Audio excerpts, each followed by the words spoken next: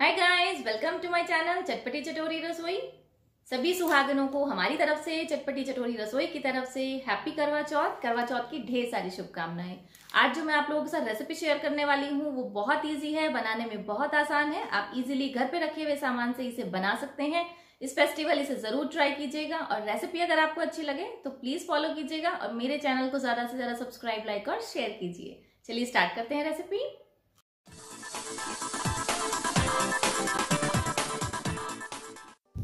Friends आज जो recipe मैं आप लोग के साथ शेयर करने वाली हूँ, वो है बेसन की बर्फ़ी। बेसन की बर्फ़ी खाने में बहुत टेस्टी लगती है और टेक्सचर में भी ये बहुत सॉफ्ट और मॉइस्ट बनती है।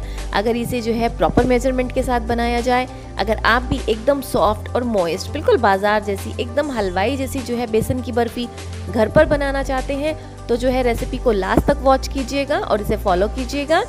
बहुत आसानी से बन जाती है ये रेसिपी यूँ तो मावे की बर्फ़ी चॉकलेट बर्फ़ी पीनट बर्फ़ी या फिर काजू कतली, सभी तरह की बर्फ़ी आपने खाई होगी। वो भी टेस्ट में बहुत अमेजिंग होती है, लेकिन पर्सनली मुझे जो है बेसन की बर्फ़ी बहुत टेस्टी लगती है। अगर इसे जो है इस ढंग से आप बनाएँगे ना तो आपको ये लगेगा ही नहीं कि ये बेसन की बर्फ़ी है। ये बहुत टेस्टी डिलीशियस और यम्मी होती है और टेक्स्चर में इतनी सॉफ्ट होती है कि मुँह में जाते ही घुल जाती है। तो चलिए दोस्तों स्टार्ट करते हैं बेसन की बर्फ़ी बनाना। उसके लिए मैंने यहाँ पर एक पैन लिया है और हाफ़ कप मैंने जो है घी लिया है। आप चाहें तो अपनी पसंद से कोई भी घी ले सकते हैं, पर देसी घी में ये बहुत अच्छी बनती है। यहाँ पर मैंने जो है 200 ग्राम बेसन लिया है।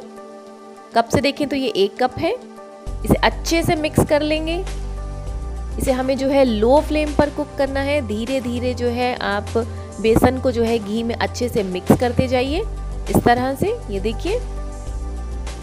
इसमें कोई भी जो लम्ब्स नहीं होना चाहिए। जैसे जैसे आप इसे जो है मिक्स करते जाएँगे धीरे धीरे जो ये बेसन है, अपने आप लूज़ होता चला जाएगा। स्टार्टिंग में ऐसा लगेगा कि ये तो बहुत थोड़ा घी लग रहा है, बड़ा सूखा सूखा सा लग रहा है। लेकिन जैसे जैसे आप इसे रोस्ट करेंगे ना, इसे बिल्कुल लो फ्लेम पर रोस्ट करना है। ये अपना जो ऑयल है, ये अपने आप जो है रिलीज़ करता चला जाएगा और धीरे धीरे जो है ये एक पेस्ट टाइप का हो जाएगा। अगर आपको लगता है कि बीच में जो है ये काफ़ी सूखा सा लग रहा है तो आप एक टेबल स्पून जो है घी इसमें और ऐड कर सकते हैं। और ये देखिए, एक टेबल स्पून ऐड करने के बाद जो है हमारा जो मिक्सचर है, वो बहुत अच्छे से रेडी हुआ है। ये देखिए, इस तरह का।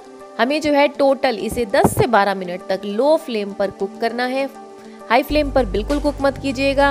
हमें इस तरह की कंसिस्टेंसी और कलर चाहिए गोल्डन ब्राउन लेकिन ये हमें धीरे धीरे भून कर लाना है, ये कलर ऐसा नहीं कि एकदम से गैस तेज कर दी और भून कर बिल्कुल गोल्डन ब्राउन कर दिया। वो अंदर से कच्चा रह जाता है।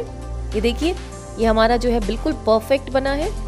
इस स्टेज पर हम जो है इसमें ऐड करेंगे three fourth cup milk powder जी हाँ ये सूखे दूध का पाउडर है। आई इजीली जो है ग्रॉसरी शॉप पर या मार्केट में अवेलेबल हो जाता है। इसे अच्छे से मिक्स कर लेंगे। बिल्कुल मावे जैसा टेस्ट आने वाला है आपको बेसन की बर्फ़ी में और ये बहुत टेस्टी लगती है। इस तरह से धीरे धीरे हम इसे जो है मिक्स करेंगे। मैंने जो है गैस की जो फ्लेम है वो इस टाइम पर ऑफ़ कर दी है। और ऑफ़ क्योंकि ये ऑलरेडी जो है काफ़ी गर्म है बेसन, धीरे धीरे हम इसमें जो ऐड करेंगे और ये मिक्स होता जाएगा। अब हम जो है इसकी एक चाशनी बना लेते हैं। मैंने यहाँ पर एक कप जो है शुगर लिया है और हाफ़ कप जो है पानी डाला है। जितनी चीनी, उसका आधा मैंने पानी यूज़ किया है। हमें जो है इसे इतना पकाना है कि जो चीनी है वो पानी में अच्छे से घुल जाए। जैसे ही एक उबाल आने लगेगा, हम जो है गैस की फ्लेम को मीडियम कर देंगे। हमें जो है इसके लिए कोई जो है तार वाली चाशनी नहीं बनानी हमें जो एक चिपचिपी जिस तरह का शहद होता है ना, बिल्कुल उसी तरह की जो है चाशनी बनानी है। ये देखिए, ये इस तरह से लग रहा है जैसे हाथों में हल्का हल्का जो है चिपक रहा हो। बस इस स्टेज पर हम जो है गैस की फ्लेम बंद कर देंगे और जो है अपने बेसन के मिक्सचर में इसे धीरे धीरे ऐड करेंगे। आप चाहें तो चाशनी में जो है इलायची का फ्लेवर भी ऐड कर सकते हैं। ये देखिए इस तरह से। अब इसे धीरे धीरे हम मिक्स करेंगे। हमें जो चाशनी है वो एक साथ नहीं डालनी है थोड़ा थोड़ा करके हम इसे ऐड करेंगे, ताकि अच्छे से मिक्स हो जाए और एक स्मूथ सा पेस्ट बने। ये देखिए इस तरह से हम जो है थोड़ा थोड़ा करके चाशनी को ऐड करेंगे और इसे जो है धीरे धीरे मिक्स करते जाएँगे। इस टाइम पर हमारी जो फ्लेम है वो ऑफ़ है गैस की, हमने गैस नहीं जलाई है। ये देखिए, इस तरह से हम जो है अच्छे से इसे मिक्स कर लेंगे। सारी चाशनी हमने इसमें डाल दी है और बेसन ने जो है सारी चाशनी को ऑब्ज़र्व कर लिया है। ये देखिए, इस तरह से। अब आप जो है गैस की फ्लेम को लो कर दीजिए और एक मिनट के लिए, सिर्फ़ एक मिनट के लिए इसे जो है अच्छे से चला लीजिए ताकि ये सारा कुछ जो अच्छे से मिक्स हो जाए, बेसन और चाशनी आपस में। एक मिनट लो फ्लेम पर कुक करने के बाद इसे बंद कर देंगे और हम जो है जिस बर्तन में इसे जमाना चाहते हैं उसे ऑयल से ग्रीस करेंगे। आप इस तरह का केक टिन ले सकते हैं, कोई जो है बर्फ़ी वाली प्लेट ले सकते हैं। नॉर्मल घर में जो प्लेट या थाली होती है, उसमें भी आप इसे सेट कर सकते हैं। अब इसे जो है इसमें पोर कर देंगे और स्पैचुला की हेल्प से जो है इसे अच्छे से स्मूथ कर देंगे ताकि हमारी जो है बर्फ़ी एकदम स्मूथ और फाइन दिखे। ये देखिए इस तरह से। इसे अच्छे से स्मूथ कर दीजिए।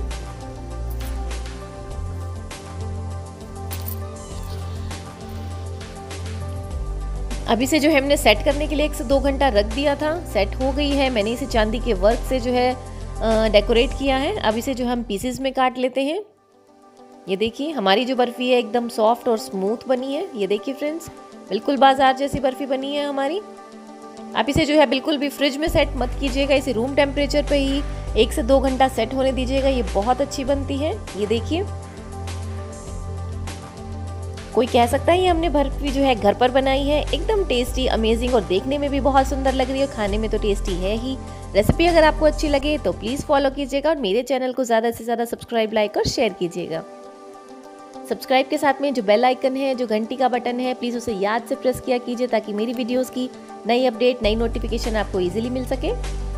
ये देखिए फ्रेंड्स एकदम सॉफ्ट मॉइस्ट बर्फ़ी आप घर पर इजीली बना सकते हैं और इन्जॉय कर सकते हैं। इस फेस्टिवल आप जो है, इस बर्फ़ी को घर पर ज़रूर ट्राई कीजिएगा और मुझे ज़रूर बताइएगा कि आपकी बर्फ़ी जो है कैसी बनी। Thank you